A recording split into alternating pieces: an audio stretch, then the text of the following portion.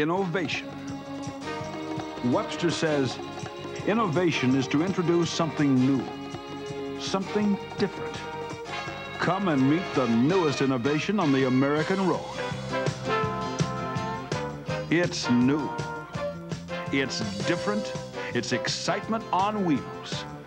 Meet the 1985 Renault Alliance convertible. A celebration of high spirits, high fashion, and high times for the young at heart.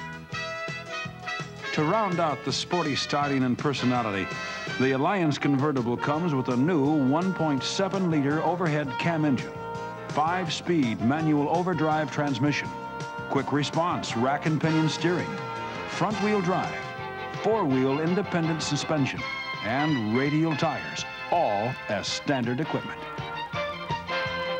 The built-in fun and good time lifestyle are also standard equipment for this exhilarating new Alliance.